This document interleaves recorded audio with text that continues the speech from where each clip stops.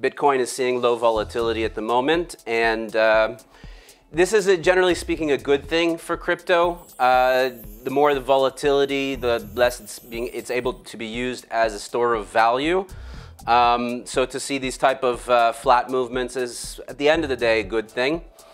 Um, is it fair value? By nature, yes. I mean, there was a report from uh, Bitwise over the weekend uh, which showed really the nature of uh, Bitcoin volumes. Um, and generally speaking, the end result of the report was that by nature, Bitcoin has a very good way of finding true value that's based on market pricing. So uh, if the market is uh, at a specific level, and specifically when it's trading at a specific level for an extended period of time, then we can say that yes, it is at true value. Last week, the Fed came out in strong support of the financial markets, um, but they've been in strong support of the financial markets for about 10 years.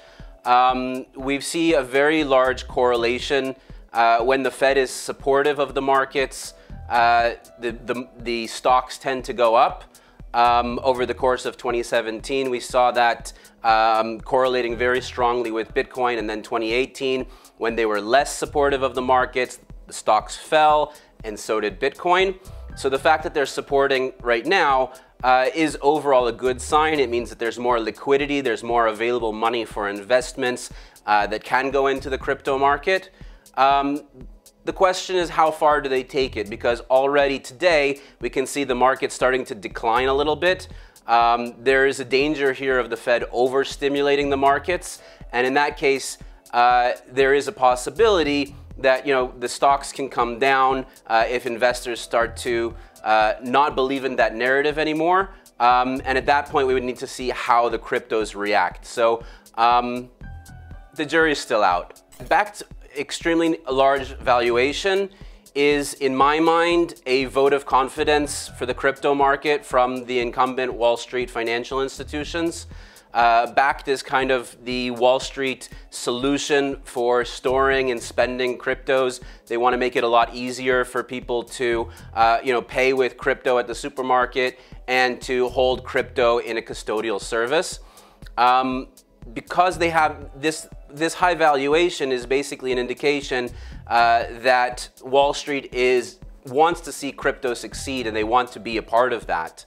Um, more or less, their services uh, include, you know, having having a futures market and uh, possibly a debit card where you can spend crypto uh, we're not quite sure yet, and we've seen uh, significant delays. They were supposed to be live uh, in mid-December. Uh, they then changed that to mid-January, and at the moment they don't have a live release date. So what we can see is that um, most likely due to regulatory hurdles, they're having a little bit of issue coming online. Um, but confidence is high that they will be able to overcome those issues. Uh, the CFTC says that this is already uh, one of the most prominent uh, things that they're working on at the moment. Uh, so hopefully we get some good news pretty soon. As soon as the CFTC and the SEC sign off, I'm pretty sure that Bakkt would be ready within a week or two. We can definitely look at the rankings and maybe learn a little bit from it. Um, overall, though, I would say this is not uh, the, uh, the the definitive source of information that we should go to for crypto is kind of like uh, taking fashion advice from Ali G. Um, you know, China, the Chinese authorities ostensibly have banned crypto trading in the country. Um, so it's a bit strange that they, you know, that they are the ones who are trying to put out now reports on which cryptos are better than other cryptos. Uh, the fact that Bitcoin is at number 14 is also very telling, where most crypto participants these days would say that Bitcoin is the dominant player. Uh, they're putting it way down on the list. This episode is sponsored by TradeSanta.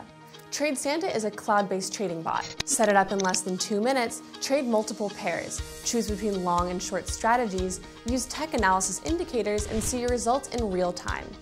TradeSanta works 24-7 to get you the profit you set. The platform is already integrated with Binance, Bittrex, Bitfinex, and HitBTC. The link is in the description below.